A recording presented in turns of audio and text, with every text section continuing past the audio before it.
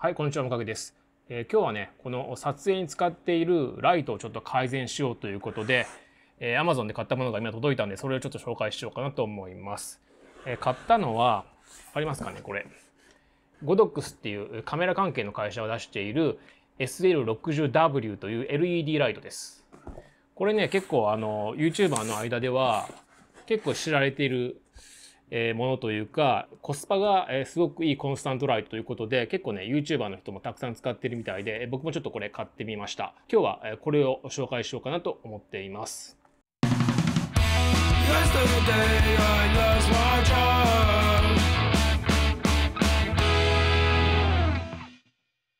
まずねこの Godox の SL60W っていうのは、Amazon でね調べると結構ねいくつか、種類があって、えー同胞物、えー同梱されているアイテムが微妙に違っていたりするんですね。でちょっとその注意をしたいんだけれどもえっ、とねまずねこの Amazon で売られている、えーこの商品には2つ大きく分けられていて1つはね PSE マークがついているかついていないかっていう違いなんですね。でこれがまあ一番大きな違いなんだけれども、まあ PSE っていうのはまあ日本国内のまあ独自のまあなんまあ規格というか、まあ、認証システムでえそれがついているものとついていないものそれをいわゆる検査をパスしているものとパスしていないものが分かれているんだけれども、えーただねパスしているものっていう方が僕らからすればそっちの方手手を出したくなるんだけれどもこちらの方にはリモコンがついていないんですよ。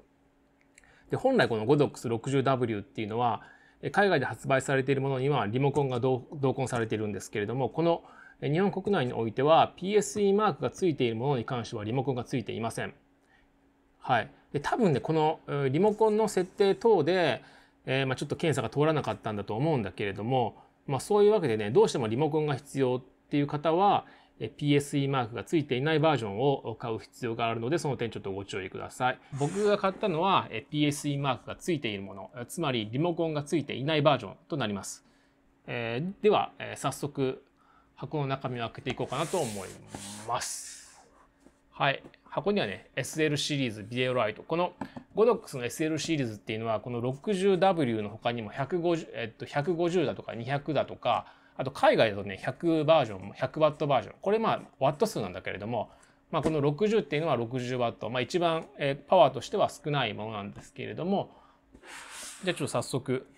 あ、でね、そうそう。で、ちなみにね、僕が買ったバージョンにはね、リモコンがついていないんだけれども、他にねちょっと後でまあちょっとお見せしようと思うんだけれどもいくつかアイテムが付属しているのでこれも後でちょっと紹介しようと思います。まずはちょっと本体から開けていきます。よいしょ。はい。えっと日本語の説明書が入ってますね。はい。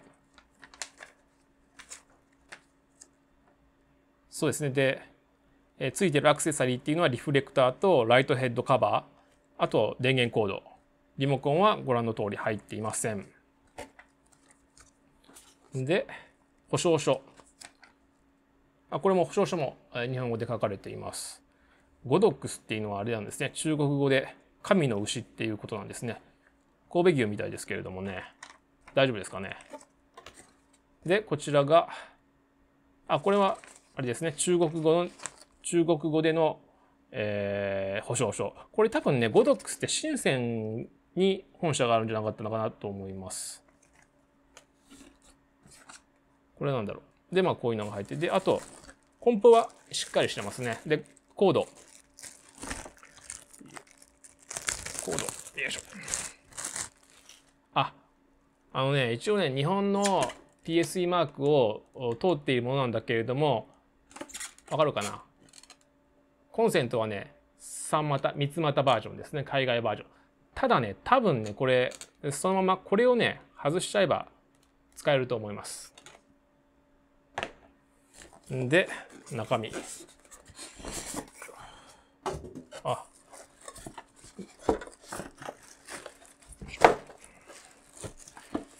よいしょ。よいしょ。リフレクターがなかなか外れないな。フレクター。これだけ。はい。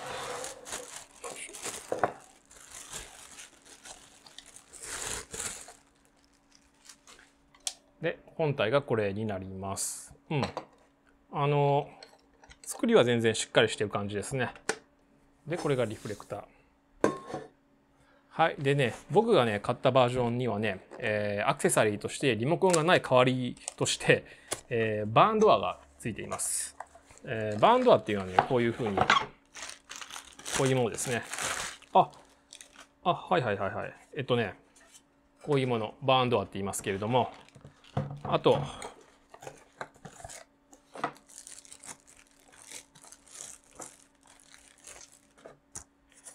と、黄色、イエロー、レッド、ブルー、ブルー、グリーン。この4色の、えーシート。変色シートがついています。そして、このバンドは本体には、これ、グリッドもついています。うん。これは結構使えるかもしれない。まあ、これちょっと後で見てみます。で、他にもなんかこれが、こういうのが入ってたんだけど、これは何だろうあ、クリーニングキットも入ってますね。中身は、あ、手袋。あ、これは結構ありがたいですね。手袋と、これなんだろう。ブラシと、えクリーニングクロスと、あと手袋。これ手袋は結構いいかもしれない。ということでね、今日は簡単にこれをちょっと紹介しようかなと思います。えー早速ちょっと、このカバーを開けます。えーカバーはね、この、ここに、こういうネジみたいなのがついてるんだけど、それを押して、うん、そう、すと曲がって、あ、で、ここが、この黄色い部分が発光ポイントですね。えなので、リフレクターをつけます。リフレクターつけるときも、さっきのそのカバーを外したときと同じ要領ですね。はい。OK。これで大丈夫。バーンドアをつける場合は、このリフレクターの上からですね、つけるという形になります。えーただね、僕は今日、今回、このバーンドアは、えーとりあえず使わずに、えー今回ね、この SL60 と一緒にソフトボックスも買っているんで、そちらの方を後でちょっと使ってみようかなと思います。はい。えーということでね、えーゴドックスの SL60W と一緒に買ったのがこちらのソフトボックス。これもね、同じゴドックスが出しているもので、95センチのオクタゴンバージョンを買いました。直径95センチということで結構大きめなんだけれども、まあ、それが一番いいかなと思いました。で、入っているものはというと、は結構やっぱりいろいろ入っててめんどくさそう作るのが。はい。まあ一応全部出してみますね。足は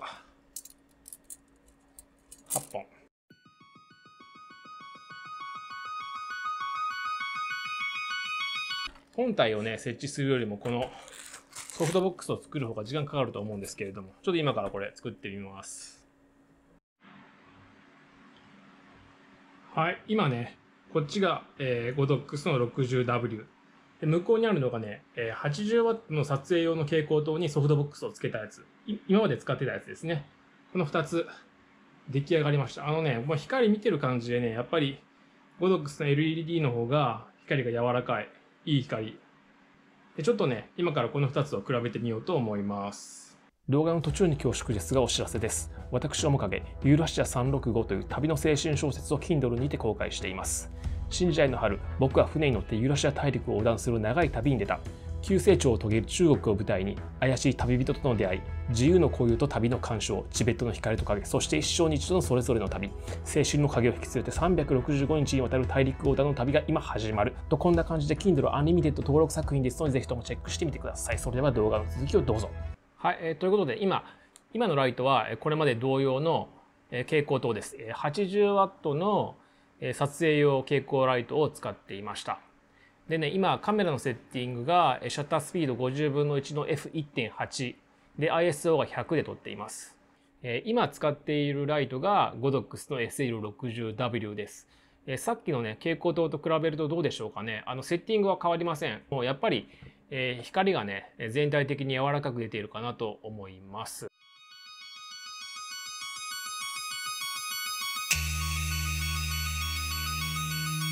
でね、あの僕が買ったバージョンは、えーさっきも言ったようにリモコンがついていないので、本当ね、リモコンがあればここで撮影しながら、モニターを見ながらね、光の調節とかできるんですけれども、まあ、一応その都度、えーライトの後ろに行ってノブを回して光量を調節する必要があるんですけれども今はね、え60%の光量で撮影しています。え結構まあこういう風な YouTube の自撮りで使う分には非常に、えーいいかなと思います。ただねまだ今日開けたばかりでレビューらしいレビューはできないのでこれからねえ物撮りとかいろんなケースで使っていってその都度ちょっと感想も上げていこうかなと思うので気になる方はチャンネル登録よろしくお願いします。それじゃあ今日はこの辺りでお迎えでした。